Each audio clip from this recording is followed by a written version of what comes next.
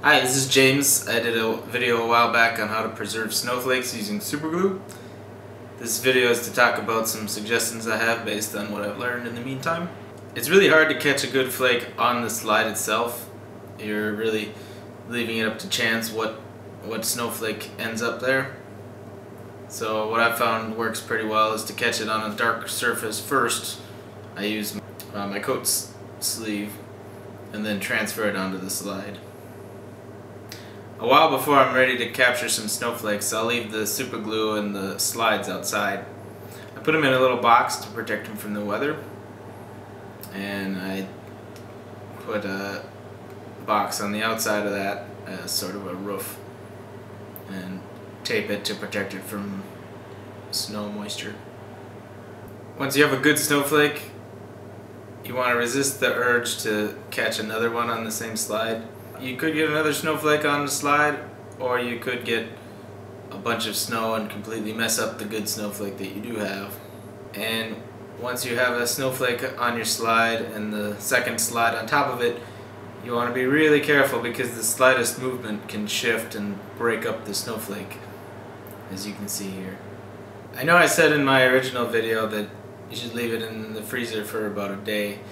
Turns out that's usually not enough. You want to leave it in there for several days just to be safe. And the thing is, as soon as you open up the freezer and check the snowflake to see if it's see if it's ready, if it's not dry, it's gonna melt and it's all over.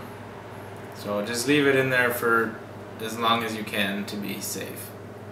If the freezer's full and it's gonna be below freezing outside for several days, you could try leaving slides outside. I haven't had much luck with this. They they didn't turn out well.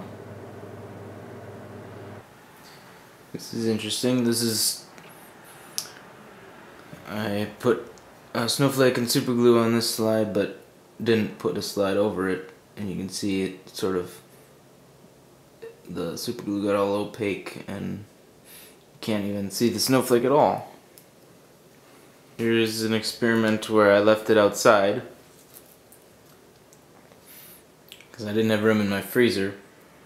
But as you can see the slide shifted from turbulence probably wind and and on top of that we've got some nonsense on the edges where excess snow also got crystallized from the super glue so that's no good this one was outside as well. This is a little cleaner. But again, the be, being outside broke up the snowflake. Finally, I wanted to show you some of the better snowflakes that I've done. If you'd like to buy one of the snowflakes that I've done, I have an Etsy store. I'll put a link in the description.